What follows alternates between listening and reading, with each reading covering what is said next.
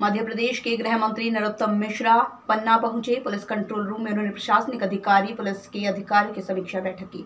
समीक्षा बैठक में मुख्यमंत्री ने पत्रकारों को वैक्सीनेशन कराने के निर्देश दिए। लॉकडाउन बढ़ाने को लेकर पत्रकारों ने सवाल किया तो गृह मंत्री ने कहा, जैसी परिस्थिति होगी, उसके अनुसार ही कार्य किया जाएगा। वहीं सोशल मीडिया पर अगर कोई भी व्यक्ति भ्रामक खबरें प्रकाशित करता है तो उस पर उन्होंने पन्ना एसपी को निर्देश दिए कि कड़ी से कड़ी कार्रवाई की जाए।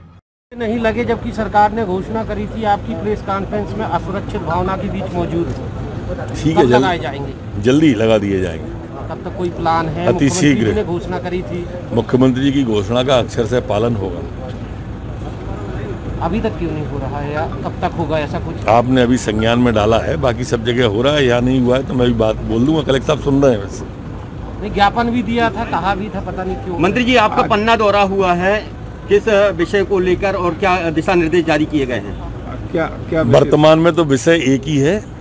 जो आप चर्चा कर रहे हो वही चर्चा करने मैं आया हूँ। जो चिंता आप सब कर रहे थे वही चिंता मैं भी कर रहा हूँ।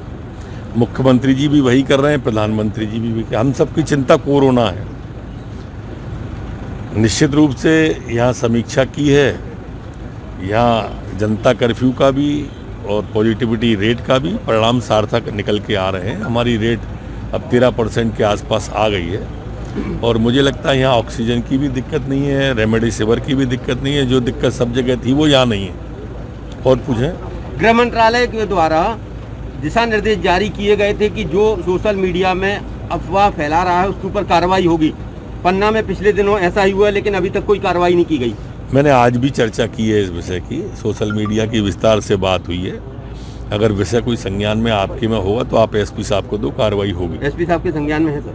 मैं बोल रहा संज्ञान में है और हम लोग को मीडिया वालों को बहुत दिक्कत जाती है।